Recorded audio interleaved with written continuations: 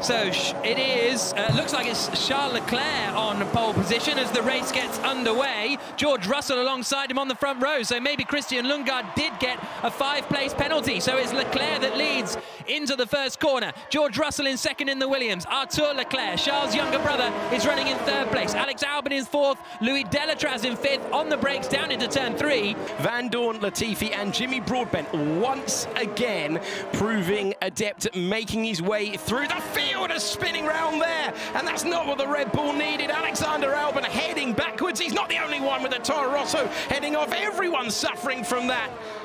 Johnny Herbert, I think, is one of them who's taken a big hit. Uh, Nunzio Todisco, I think, is the Toro Rosso, um, the Alpha Tauri that went into the wall, even though it is a Toro Rosso in this game. But Charles Leclerc is leading. I think Lando Norris's game is not working. That's why we're not seeing him in the race. He had all sorts of trouble two weeks ago, and again, uh, it looks as though Lando Norris things are not working oh. out for him. Around goes Ben Stokes, and uh, doesn't quite make it to the boundary. Gets back onto the circuit and gets going again. That's going to be my only cricket pun because I haven't really got any more. But uh, Ben Stokes caught in the slips. That's one as well, isn't it? Lundgaard, who will be raging to have lost that pole position, but he's uh, applied himself nicely here not cutting the track too much. Oh, Leclerc so close. Leclerc, the younger that is, so close to losing it. He's got that DRS because he's enraged for George Russell, who's been left behind right now by the two-time Formula One race winner, Charles Leclerc, winner in Belgium, winner in, oh, into the wall goes. Was that Louis Delétraz losing yeah. it? I think it was. Louis Delétraz down to seventh position. What is Delétraz doing? and he's in the DRS range. Leclerc, beginning to struggle. This is going to give a great opportunity to Lundgaard, who's side by side with him already, compromising the Ferrari's line. And now with DRS, big opportunity as they go down to turn one. This has got to be it, hasn't it? Leclerc, just a couple of wheels on the dirt as he came down into turn 13. They're side by side, round oh! the outside from Christian Lundgaard. What a great move. And I think Arthur Leclerc's in trouble. I think the uh, younger brother of Charles has gone around and George Russell is back up now into third place. Giovinazzi's up into fourth. George. If you did four laps, you can do another four. a second lap to the car behind, one second. you say?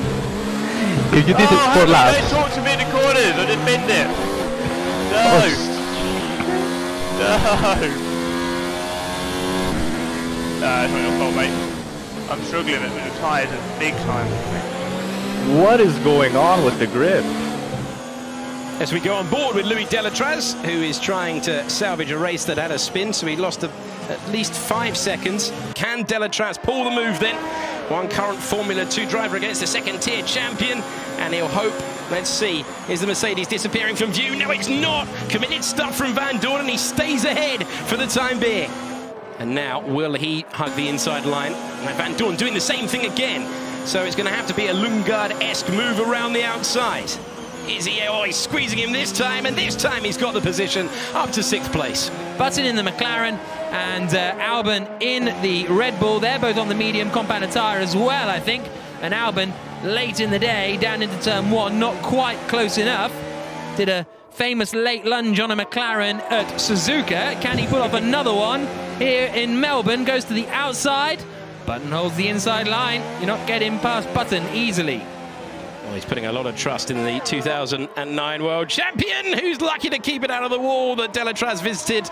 And up to 10th place goes Alex Albon. What a tank slapper from Button. Brilliant stuff. He managed to hold on, though. And Alex Albon's up to 10th, but he's coultharded it down at turn 13, uh, turn 15, I should say. And that allows Button back through. So after all that hard work from Alex Albon, Jensen Button is there to take advantage and get back up into 10th place.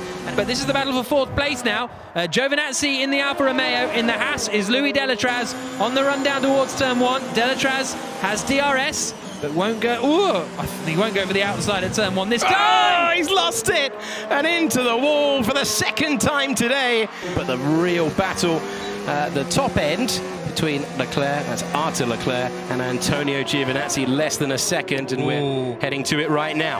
And he closes in on Giovinazzi for fourth place. How hard is the Alfa going to fight? Not that hard. Didn't cover the inside line, and Arthur Leclerc sends it through, and he'll get the DRS again on the run down towards turn three, so that should be fourth place now. Button covers the inside on the run down to turn one. Latifi switches back to the oh, whoa, super late on the brakes. Oh, last of the late breakers from Jensen Button to stay ahead for the time being. After seeing that, will Latifi put himself on the outside? I wouldn't be so sure. He has gone for that run once again. Button goes deep, and this time too deep. Off to the gravel and off to the rearview mirror for Nicholas Latifi, who's up to 11th place.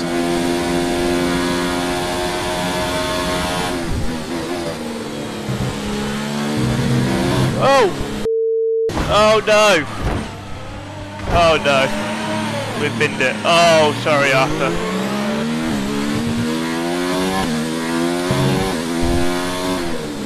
Is that going to affect my tyres a lot? Am I to? I'm going to get a penalty for that, aren't I? Charles Leclerc across the line to win the virtual Grand Prix in Australia. A dominant performance from Charles Leclerc in Melbourne, three weeks too late.